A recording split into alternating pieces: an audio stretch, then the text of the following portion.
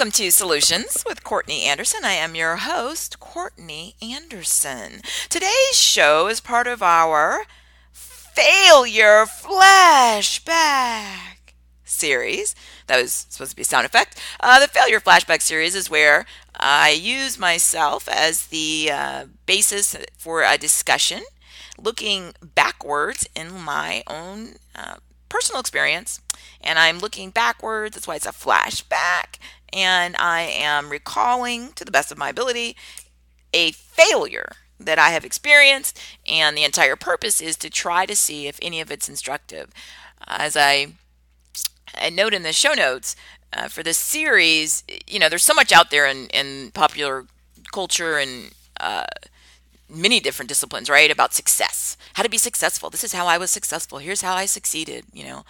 Um, and that is helpful, I do think you know, I myself, when I want to learn something or I'm curious, um, I go and I want to look and see, well, okay, look, what are, what information can I glean from people who have accomplished the outcome I'd like? So that makes total sense. That's the idea, right? I find somebody who's done the thing that I'm interested in doing or trying to do, and then I try to work backwards from there and figure out, okay, what what what do they have to share with me that could be helpful? So the other thing in life that's instructive at times is to realize that, you know, my journey is not the only one fraught with peril. Other people stumble, um, fall. The key is how do you how do you can how do you go forward? How do you get back up? And so there's so much um, about resilience and grit.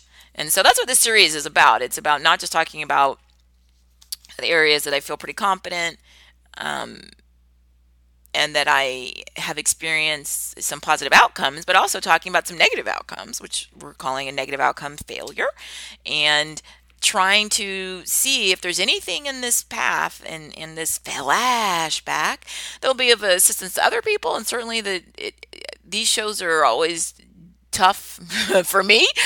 Uh, you know, we don't often like to revisit uh, things where we had negative outcomes just because well, you know, we had a negative outcome, and that's not really, you know, super awesome. It's kind of the opposite of awesome. And often we don't want to spend a lot of time or any time on these things. Yet, how do we learn if we're not willing to own all of the outcomes uh, in our lives and the, the consequences thereof? So here we are, and this specific episode in our failure flashback series is I am failing a class. And so this is, of course, focused on someone who's a student, um, mostly focused on someone who's a student in uh, a university or, or a college. Although I'm sure probably as we go through the, the failure flashback, there might be some opportunity for it to be applied for, you know, maybe somebody in secondary school. Um, so here we go. One of the things that I love is education, and I do so many uh, programs and I'm such an advocate, right? You know, always everything that we do in all my programs, everything that, that we produce is all about, you know, surpassing our goal. So that's great. And then, of course, I think education is just, uh, you know, one of the, the most powerful gifts that we have as humans. You know, the the ability to absorb so much information and the ability, of course, to educate and share with other people. I love education.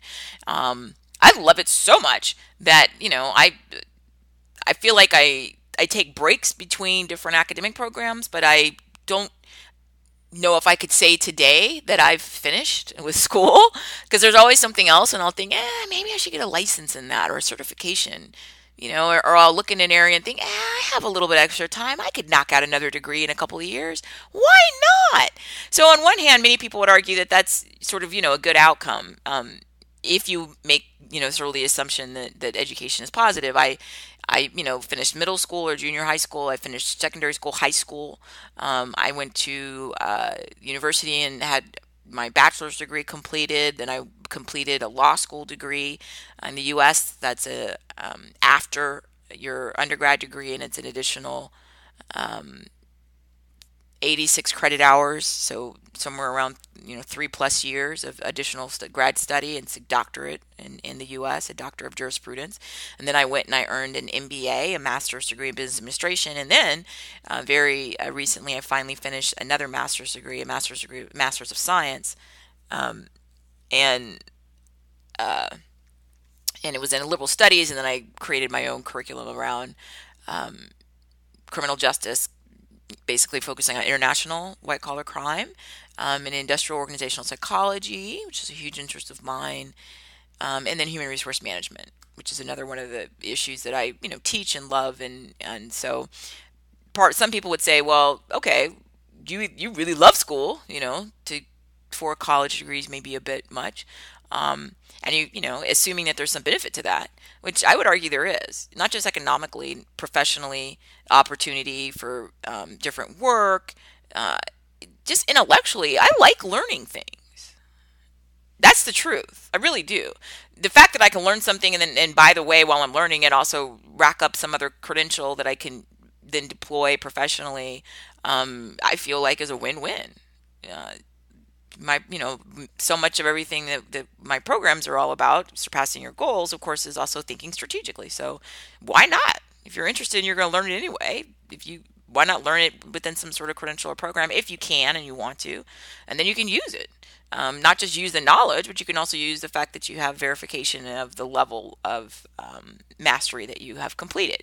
So some people would say hey you love education. So clearly i don't know why you're talking about failing a class I do love the outcome. And I, have said many times, I, and, and, you know, certainly that's my journey as a student. And then, of course, I'm an educator, right? So I, I've been uh, teaching uh, college classes for a really, at this point, uh, quite a while, since um, 1990. 1996, I think, is when I started my first um, post secondary teaching job. And then in 1997, I taught my my first university.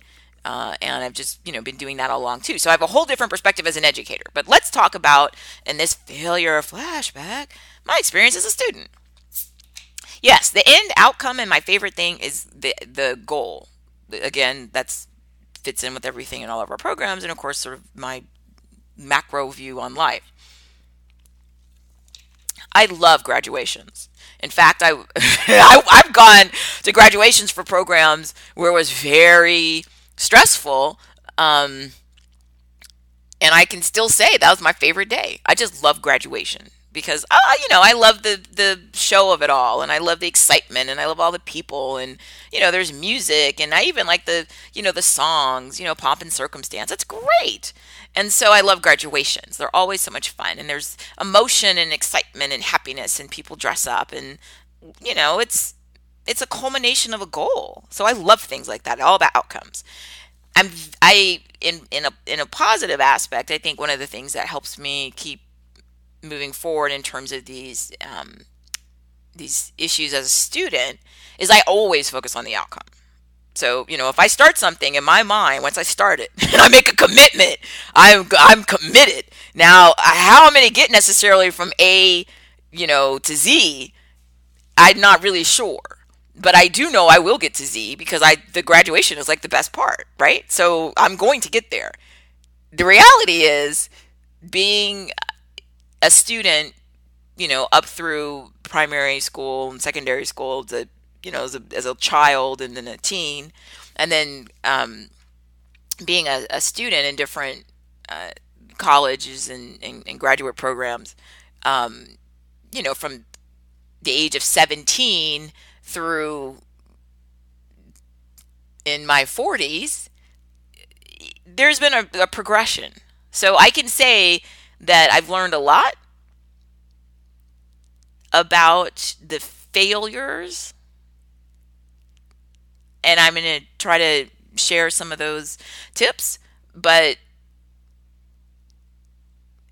it's never, I think, going to be an issue where it's easy for me to again accomplish and surpass the goal. I'm, I, I never doubt that I will reach the goal because that's sort of my personality and I've made the commitment. And in my mind, if you make the commitment, you will do it. How I do it is always where it's a little murky. So, looking back at my failure flashback time machine, I'm going back and going back, I'm going back in time. Oh my goodness, I'm 17. Whoa, just the other day.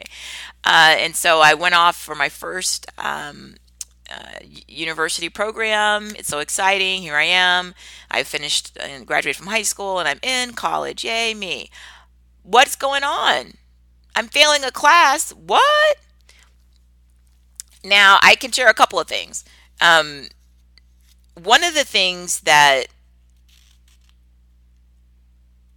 is helpful when we look at our failure flashback, of course, we have a couple of questions. We always ask, How did it happen? How did I respond? What solutions did I deploy? And how do I remain vigilant today? So the first thing is how did it happen? So I've, I've gone back in my time machine and I'm somewhere in my teens. So I'm let's say I'm 17 or 18 or 19. And so when I was 17 and 18, I was at uh, one university program where I was full time residential living on the campus and in a student housing uh, facility. And actually, that that time, from memory, went went pretty well in terms of not being in a situation with failing classes, largely because I was in a um, an area that didn't have sort of like a large city nearby, um, and there wasn't a lot socially to do. And I I was on campus, I lived on campus. I just worked, um, meaning I went to class, and there wasn't much else to do, or at least there wasn't there weren't things to do that I I would have enjoyed. Um, it was a very beautiful part of the country, the United States, but it, you know, for somebody who likes to do a lot of rural activities or outdoor activities, it would have been great. It just those really weren't my favorite activities. So I went into class and then I spent time on, you know, other hobbies and, and then I would leave town on weekends and go visit uh, friends in other cities. So I really wasn't distracted during the week. I went to class. Then I transferred and went to a different university in a different area that was a totally different setting. So it wasn't out somewhere away from a big city, it was in a huge big city. And there was tons to do of things that I was interested in. Right? So music and and and opportunities to just have fun and there's so many people and um, so how does it happen that I'm failing a class? I have a t- couple of issues that I in hindsight can see result in this. But I'm in the situation where I'm looking at the syllabus, which is sort of the outline of what you have to do and when you have to do it. And I'm pulling out my calculator and I'm looking at my current grades because I always keep track of my grades, right? Because I just love outcomes, right? So I love graduation and I also love ending classes. I'm always focused on the end. And so there comes a point where I'm sitting and I'm looking at the syllabus and I'm looking at how many points are available, right? And I'm looking at the grading scale, you know, often in the US A, B, C, D, F and I'm looking at my number of points and I'm looking at the, the number of points remaining in the class and I'm realizing the only way I'm going to earn what I consider to be a reasonable grade, um, you know, and is to earn every point remaining in the class, right? So I have made choices by either not turning my assignments in or turning in things that are late or partially completed. And now I'm looking at the points that are remaining and I'm thinking, oh, okay, well, there are 50 out of 100% is, is remaining in the semester. And so if I get all 50 points and then I already have, you know, um, you know, 25 points, then I'll get to a, a 75 and that'll be a C. Um, it's not great, uh, but I'll pass. Okay. By the time you get to the, the reality, when you're sitting there and you're looking and you're thinking, oh my gosh, well, you know, it's possible mathematically because look at all of the points that are remaining. If I get all of those, then then yes, totally, I can get to a point where I can quote pass. Once you're at that point, you're in trouble. You're in deep trouble. You're you're in the water and the current is raging and you're like probably going to drown. You you should have done what you're doing now a long time ago. The only reason that I was failing the class is because if you went back even more of a flashback, you'll see that I did a couple of things. One, I, I love outcomes. And I'm, you know, again, like I, I'm just owning this. Like I, I've been around me long enough at this point in life. You know, don't lie, don't hide it, don't try to cover it up. This is me. I love outcomes. I love them so much that I'll look at the outcome and I'll think, um, oh, okay. I'll think, oh, well, I need, you know, um, you know whatever number of credit hours I need, then uh, I, I and I want to get this done as quickly as I can, right? So I would look and say, okay, if I need you know X number of credit hours, what's the maximum credit hours I can take a semester? Um, and then I would say, um, okay, I'll take more than that because the faster I, you know, if I take more classes, right, instead of taking you know, four classes a semester, I'll take six or seven. And then I'll move faster and then I'll be done with the program and get to graduation, which of course was my goal. My I'm so focused on that end outcome that I'm tr- and, I, and I'm trying to get there as quickly as I can. That's that's sort of been a, a, a habit. And so when I'm failing, and I'm looking at the numbers, and the numbers are bad. And I'm trying to convince myself that, oh, well, you know, if you get 100% of everything that's left in the class, uh, you know, you can make it happen. Okay, is it possible? Yes. Anything is possible.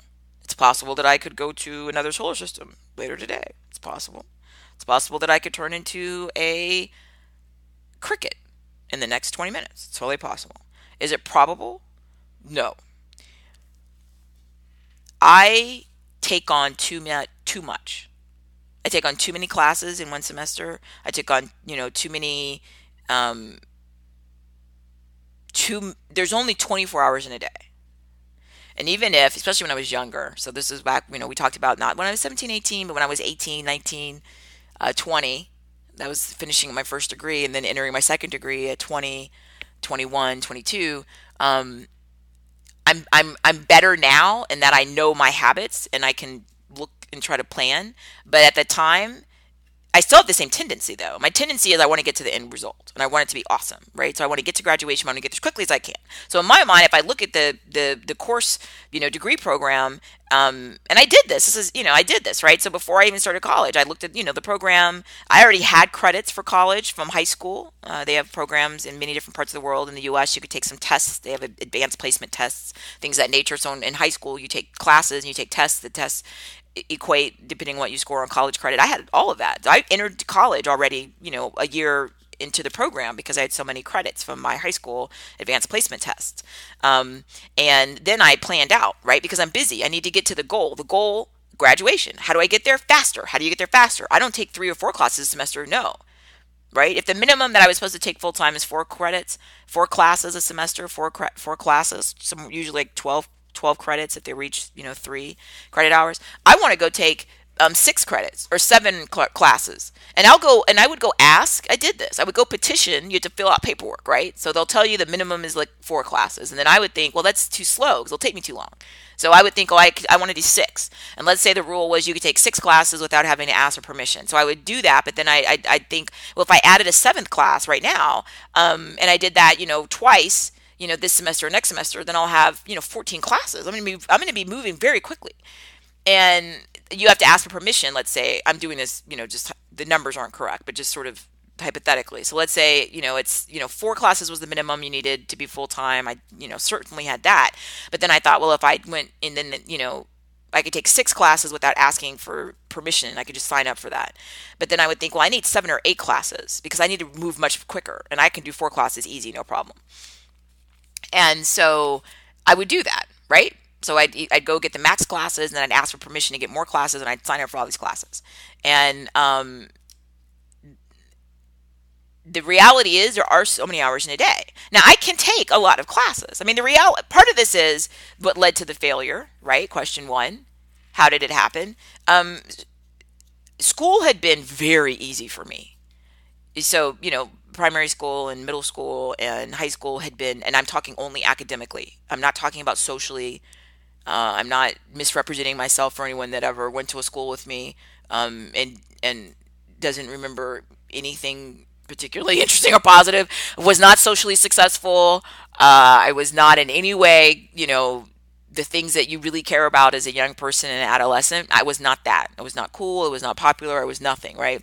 Um, in terms of that currency. I did understand the academic part because that is my area, right? I know that. And part of it is it just came so easy. Everything was easy. I didn't really, I didn't study really. You know, I could look at something a few minutes before a test, walk in there, get the top grade. Okay. That taught me and reinforced a very negative behavior, which was that it would always be easy. And so it was so easy for so long. And I would listen to other people, you know, in school and they'd say, Oh, it's so hard and I I didn't understand. I, I would I would think, well, I was in that same class. I you know, I I put an hour in, into the whole thing and got the you know top grade. I don't understand what they're saying It was you know what was the problem. And like I said, in in in, in secondary school and in high schools, in several different states, because I moved around a lot. I've shared in other programs, um, my father had a job, and, and so that we moved constantly. He was in the United States uh, Army. Um, And so I had taken all these classes extra that I didn't, you know, need to graduate high school, but I wanted to get these extra classes so I could get these tests, these advanced placement tests, and then I get all these credits so that I could go, you know, I knew finishing high school I'd already be ahead of the game, right? I like to be ahead of the game. So, um, because I'm tr- because I think big picture in my mind, I'm just trying to get to the goal. And I have all this, you know, anxiety and I have all these, you know, life experiences that I I I, I don't feel guaranteed today or tomorrow and I just want to get there. So by the time I got to college, I was used to a lifetime, right? I've had, you know, all this time from, you know, kindergarten, I'm all the way up through, you know, finishing high school. It was, it was so easy. You know, maybe there was a class or two that I thought was a little bit challenging. Um, you know, trigonometry or something might have been a little bit, you know, I had to work a little bit harder than I normally do, which is usually I did almost nothing you know, because reading came really easy to me. Um, and that's the basis for almost everything you do, right? All the social sciences and your history and your government and your civics and, um, you know, any electives I took, you know, were easy. And um, the math got a little bit, a little bit more difficult for me because just because it's slower, you know, than just sort of my reading skills or my fallback. And so by the time I got to college, I had all these habits that were horrible that were built in. I was used to signing up for the most amount of classes, the most amount of advanced placement, all this kind of, you know, and I was in these advanced uh, programs for um, what they call talented or gifted students, where I'd go for these enrichment programs and have all these extra challenges, and it still wasn't challenging. I mean, it was not, you know, it was sometimes my main problem was I was bored a lot, right? Because it was too easy. So by the time I got to college, I had the same kind of mindset. Well, I'll just I'll just load up on all these classes because it'll be somewhat similar. And the problem was, it actually kind of was. Um, you know, the easier it was, the more that I could kind of wait till last minute and do an all nighter, right? So the last minute is, oh, the test is tomorrow. Wait a minute, I haven't been to class in a month. Now I got to read all the work I haven't read in a month, and I have to memorize all of this stuff that I don't know, and then I have to be ready, you know, in like 12 hours. And I would do it. This is horribly unhealthy. You know, I, I forget it. I'm not going to sleep. I'm just going to sit here and I'm going to learn everything I should have learned, you know, in six weeks, but I'm going to learn it now. And then I would I would do that, I wouldn't sleep, and then I'd go into the class and I'd take the test, and yay, I passed. Right. So you know, normally, of course, I would want to get the top grade, the A's, because in my mind, you know, why not? But then as time went on, I realized, eh, what's the difference if I get a B? Eh, it's same, you know, it's not going to kill me. And then I thought sometimes, well, you know, I have a lot of classes, right? Because maybe most people are taking four classes. I'm taking, you know, eight classes. Um, I did this to myself, but then I think, well, it's not going to make any difference, right? Because if I get a C, I already have a lot of A's. It'll balance it out, so I'll just do that. Then I would get to a point and talk myself into, um, you know, you need you you can go ahead and switch the class to pass fail because at some schools early in the semester for some classes you could take the class initially for a grade and then change it to pass fail. And then I, I knew i could get by because to get to a pass is of course um, what i'm doing is just lowering the bar right? And i'm thinking all right you know i'll just wait till the last minute. I'm not going to aim for the a. I'll aim for you know the b you know. In some cases i'll be willing to accept the c because i've already have a whole bunch of a's. It'll it'll balance it out. And i'm already graduating right now. You know what i what i did because my system, right? Like I'm trying to get it done so quickly and I don't want to be bored. By the time I entered, you know, by the time I entered my second year of college or sophomore year, um, I was already, I had so many credits, I was going to be graduating that next year, you know, so my second year was kind of my junior year, you know, and I knew I would be graduating. So by that point, I'm thinking, I'm so focused on all the programs I'm applying to. I'm so focused on all the, you know, am I, I going to go to med school? I thought for a while I'd be, go to medical school. Am I going to go to law school? You know, I was back and forth on that. I need to take all these entrance, entrance tests for, you know, medical school, the MCAT or law school, the LSAT. I'm very busy.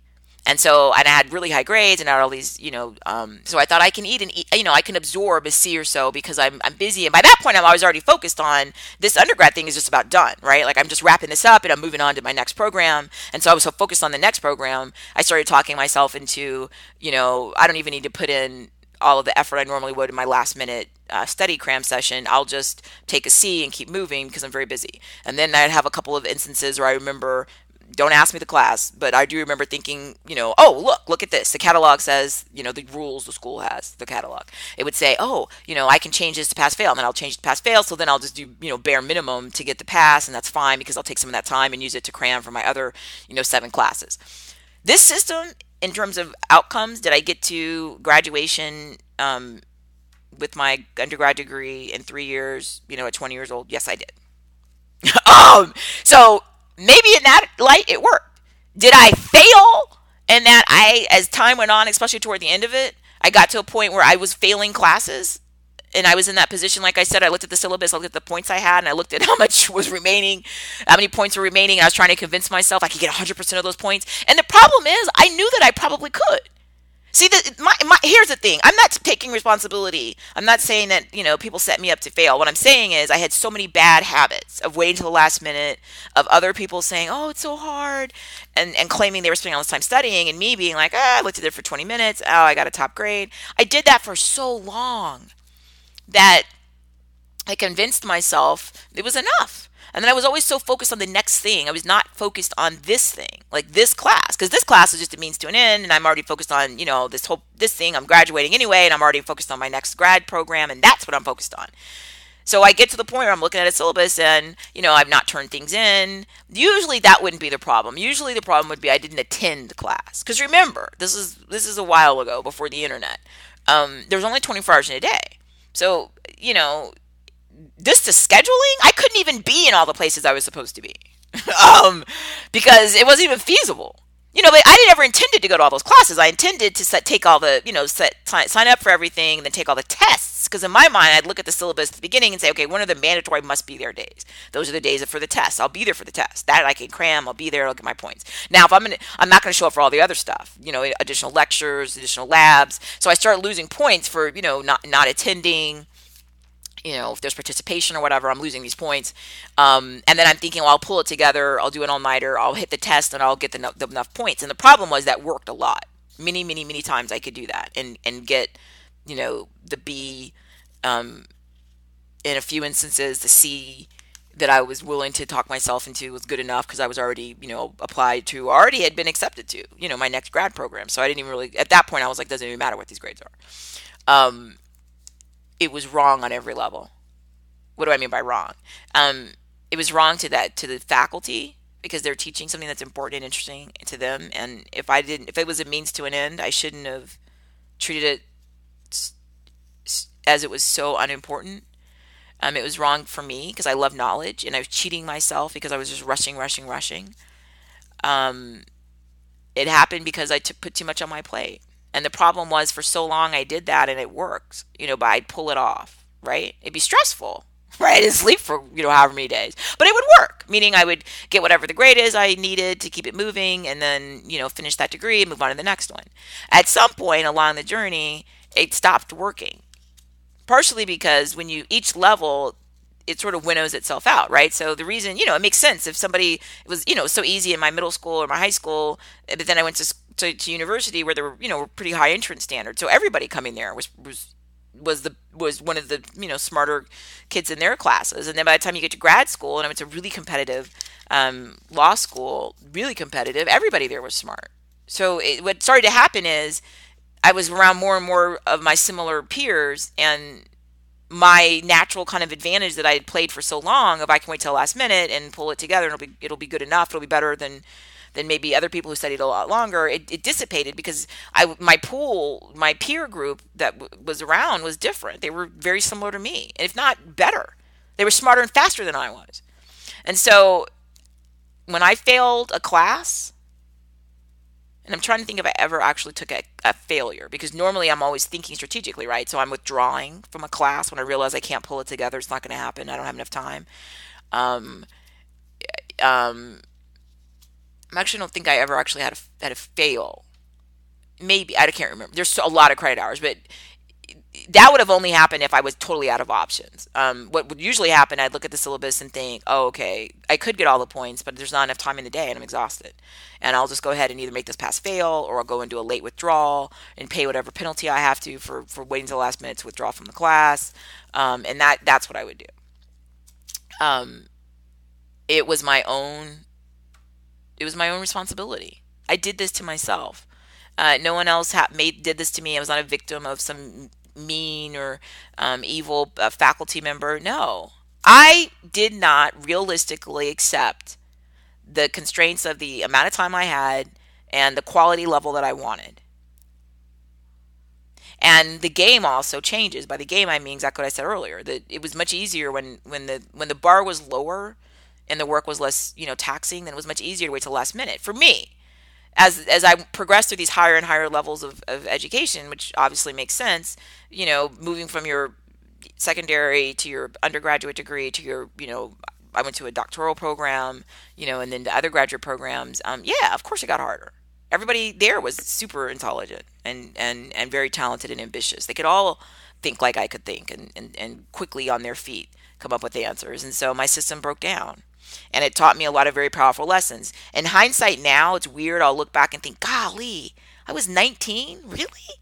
Because I felt so old, right? At the time, I thought, like, oh, I got to get this done. And I'm so stressed out. And I look back now, or I, I talk to somebody, you know, now who's 19 or 20, and I think, golly, they're so young. But I was so hard on myself. I just felt like I have to get this done. I've got to get this moving. I, you know, there's so much I need to get done. And, you know, even in that doctoral program, which is when it really hit, hit the wall for me, when I hit law school, which is, you know, very, it's a, it's a, you know, academically, it's a great program. It's, it's one, you know, one of the top in the United States and, you know, one of the top in the world.